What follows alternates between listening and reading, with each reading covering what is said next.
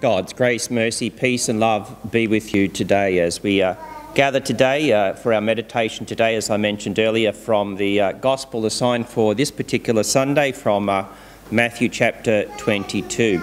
Uh, and uh, there's two parts to this reading, by the way, in Matthew 22. And we've got the slightly shorter version there, um, but I also want to read just a little fraction more in relation to that. When the Pharisees heard that Jesus had silenced the Sadducees, they gathered together, and one of them, a lawyer, asked him a question to test him. Teacher, which commandment in the law is the greatest? He said to him, You shall love the Lord your God, and with all your heart, and with all your soul, and with all your mind. This is the greatest and first commandment. And a second is like it you shall love your neighbour as yourself. On these two commandments, hang all the law and prophets. Now, while the Pharisees were gathered together, Jesus asked them this question What do you think of the Messiah? Whose son is he? They said to him, The son of David. He said to them, How is it then that David, by the Spirit, calls him Lord, saying, The Lord said to my Lord, Sit at my right hand until I put your enemies under your feet. If David thus calls him Lord, how can he be his son? And no one was able to give him an answer, nor from that day did anyone dare to ask him any more questions. We pray. Gracious Lord Jesus, as you bring us together in worship, we do thank and praise you that we are called God's children in the grace of baptism. As you bring us together this day, Lord, and reflect on this word you've given us through your Son and in the life of the church this day, we pray, sanctify us in your truth. Your word is truth. Amen. As we begin our meditation today, and there was a, a, question in the Gospel, by the way, that relates to this as well, too. I, I want to begin, and I've reflected on this question in the past the question of identity. Who am I? If you had to describe yourself to someone else, uh, what would you say about yourself? And in that gospel, Jesus effectively asked that question when he asked, uh, What do you think of the Messiah? He was really saying, Who am I in this question? So, if you had to describe yourself to someone or ask someone to describe you to someone else, what do you think they would say? Now, we know that the question of identity, self identity, self concept, self worth, self esteem, is actually very multi layered.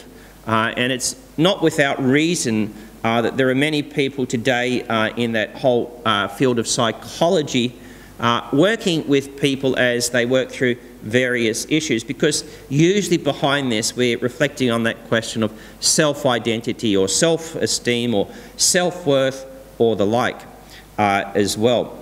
And we know that we are a product of our biology, our DNA, our family of origins, uh, and personality in some way is shaped by that. We also know that we are a product of our environment. Uh, you know, the food you eat, the people you encounter, the schools you go to, all these sorts of things shape who you are, the people you marry, where you go, where you live, and so on. And so we are also a product of our experiences. And of course, this is very, very multi layered. And, um, you know, when we're born a little child, uh, we just have this, well, I'm here, look at me. And then as we get older, we ask this question, well, who am I? And we try and encourage people, of course, to be what God wants them to be. Now, one person, in reflecting on this question of who am I, has just written this little thing. Who am I, you ask? I am made from all the people I've encountered and all the things I have experienced. Inside, I hold the laughter of my friends, the argument with my parents, the chattering of young children, the warmth from kind strangers. Inside, there are scratchings from cracked hearts, bitter words from heated arguments, music that gets me through, and emotions I cannot convey. I am made from all these peoples and moments. That is who I am. And of course, we can reflect on this question of who am I in so many different ways. And maybe later, is if you choose to reflect on this sermon, you can reflect on this question if I had to describe myself or describe you to someone else, what would I say?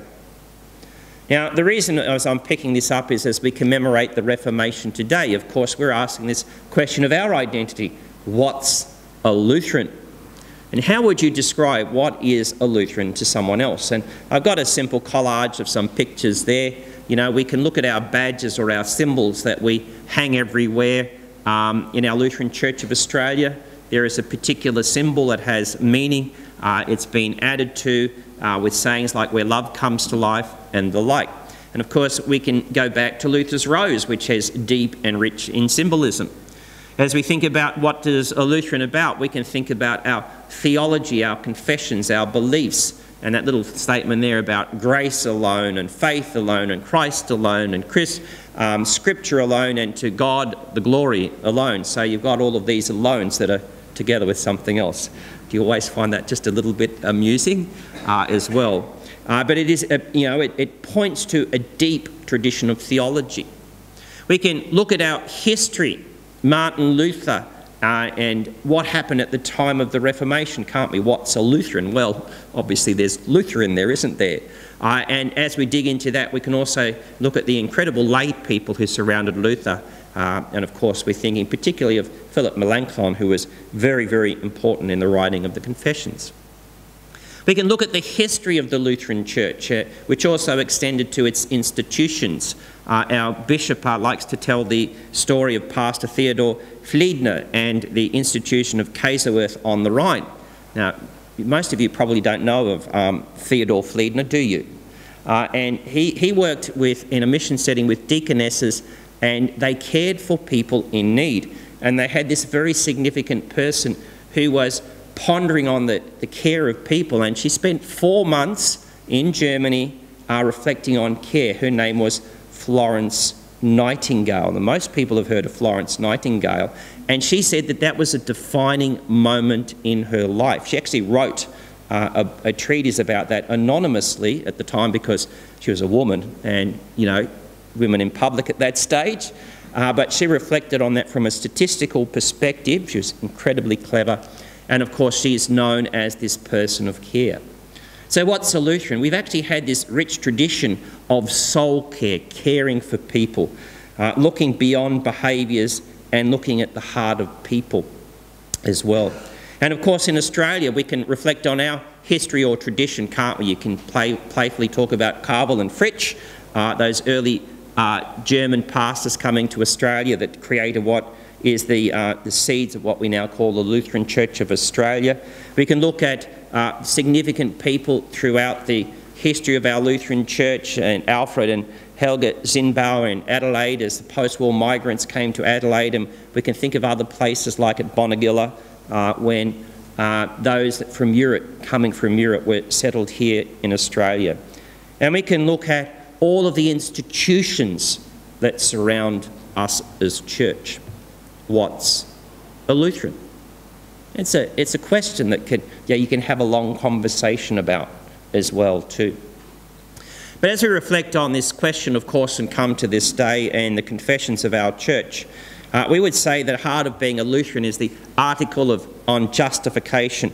It's the article number four in the Augsburg Confession. And really, the Augsburg Confession is like the constitution of the Lutheran Church in terms of our beliefs. It's also, by the way, an excellent basis for doing a pastor's class. It's very logical in the way it's set out as well, too. The article on justification we further teach that we cannot obtain forgiveness of sins and righteousness before God through our own merit, work, and satisfaction, but that we receive forgiveness of sins and become righteous before God by grace, for Christ's sake, through faith. When we believe that Christ has suffered for us and that for his sake our sins are forgiven us and righteousness and eternal life are given to us as gifts.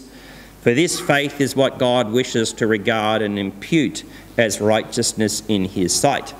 And then they quote this Bible verse, which succinctly puts it For we maintain that a person is justified by faith apart from the works of the law. And it really, you know, when it comes to our identity as people and our identity as church, it hinges on God's incredible grace and love for us in Jesus.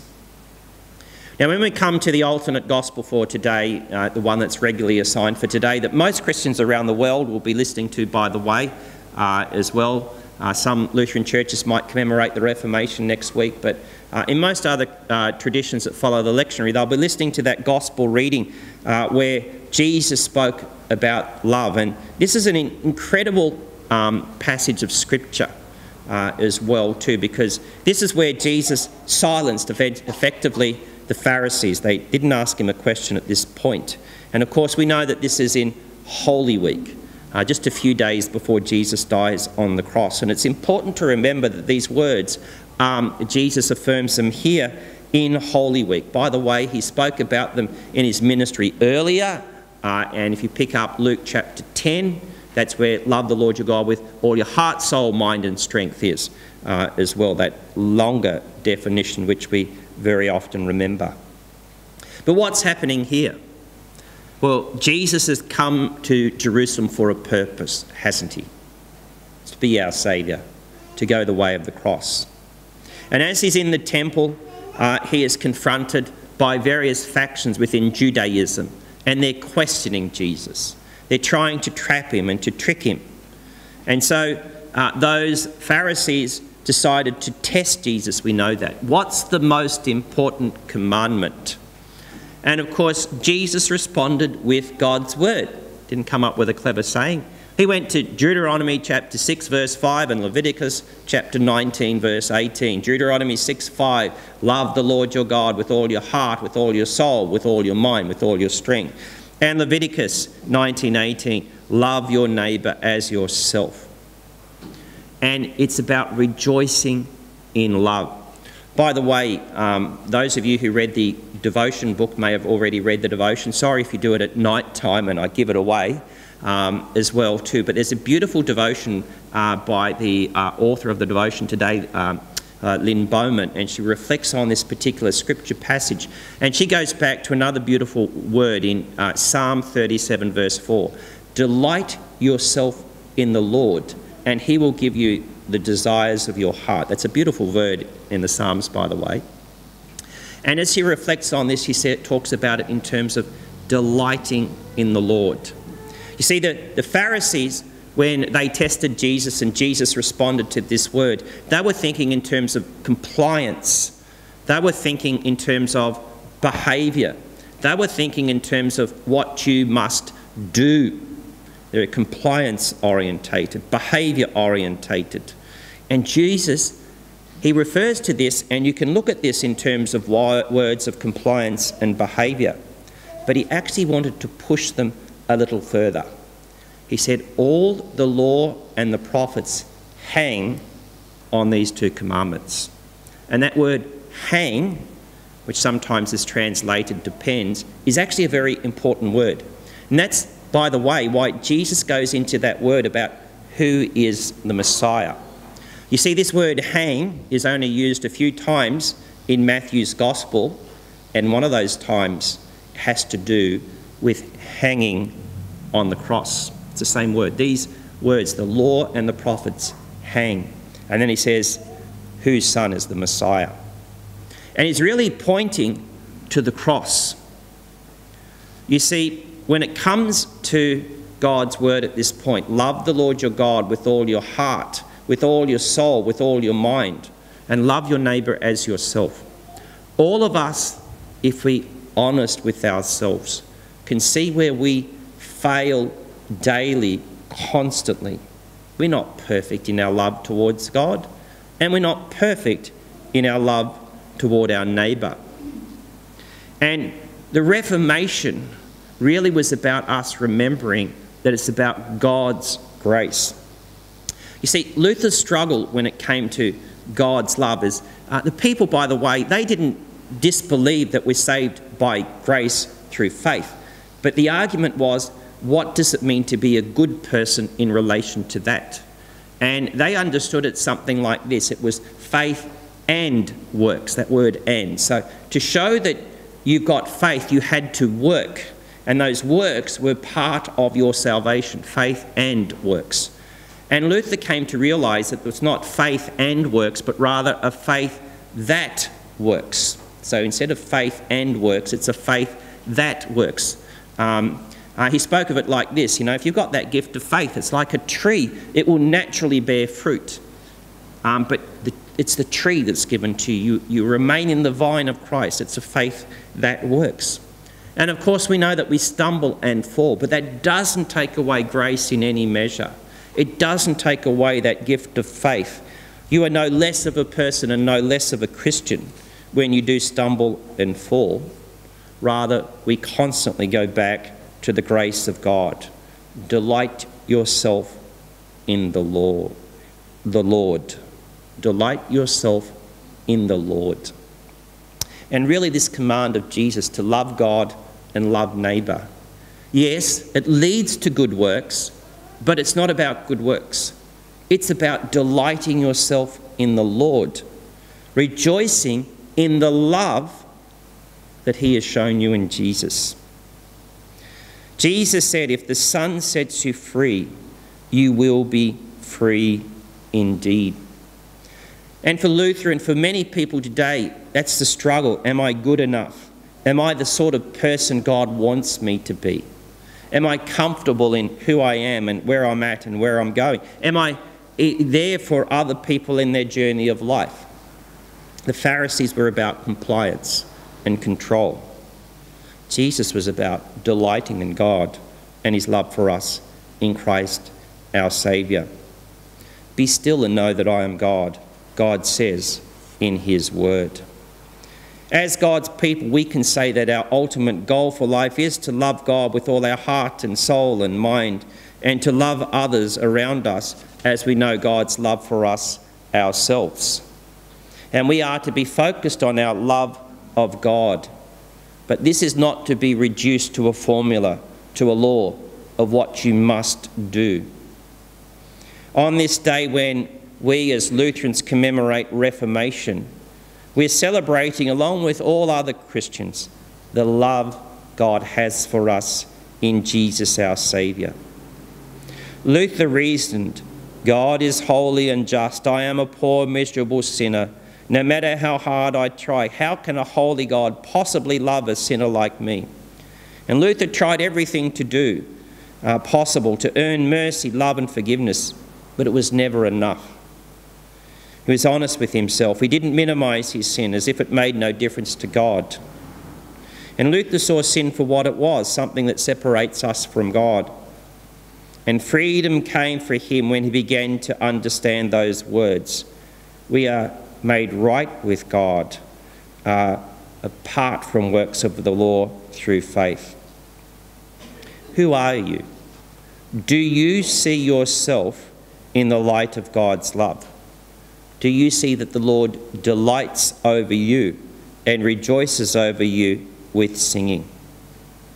The more we bask in God's love in Jesus, and the more the reality of God's acceptance of us seeps into our hearts, the more we rejoice in God's love and indeed learn to love others as ourselves. What a joy it is to know this good news of that love God has shown us on the cross and by Christ's resurrection from the dead. And where our works and our loves fall short and we stand condemned, Jesus took that condemnation for us and demonstrates his love, his perfect and complete love for us, for you. That's our comfort, that's our joy, that's our strength in our journey of life. May the Holy Spirit keep you in this faith now and always. Amen. And may the peace of God that surpasses all human understanding keep your hearts and minds safe in Christ Jesus. Amen. We're going to continue our worship now with the song How Deep the Father's Love.